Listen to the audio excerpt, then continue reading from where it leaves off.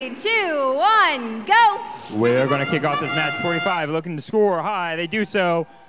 Want to try and dock as they've done multiple times before. Exiting that community first will get them an extra three points.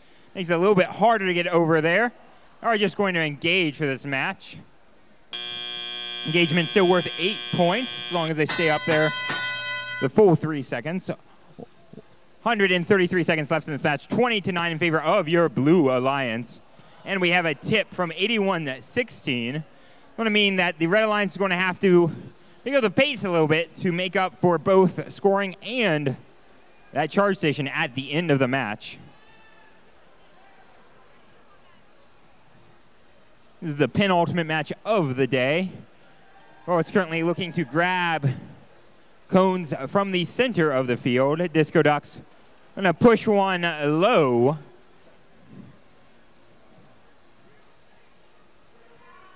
Forty-five going to the double loading station. Human player quickly grabbing a cube for them to intake.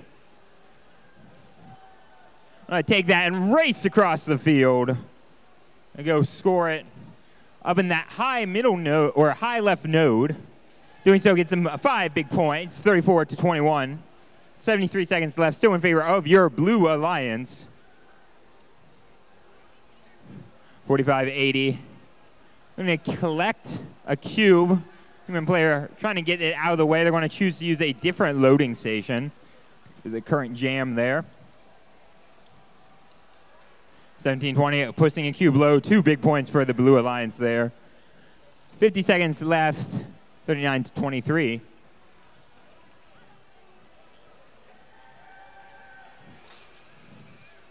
Nightbot's playing a little bit of defense there on the conductors. Slowing down their cycle oh, just a little bit more. Sound means we got 30 seconds left. We're also going to look for those docks look for two docks from the Blue Alliance in order to get a rank point at climb. 1720 and 8103 Nightbots are going to be the ones complete that for the Blue Alliance. 14 seconds left. Very delicate positioning in order to get the correct amount of balance. 1720 trying to get back in position. Five seconds left. These robots teetering back and forth and a successful double dock.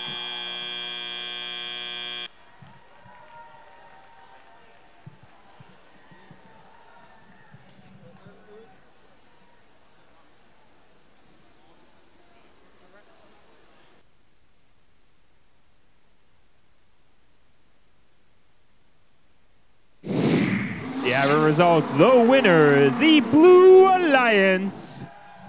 Blue Alliance saying that 73 to 55. Congratulations to Blue Alliance winning Quals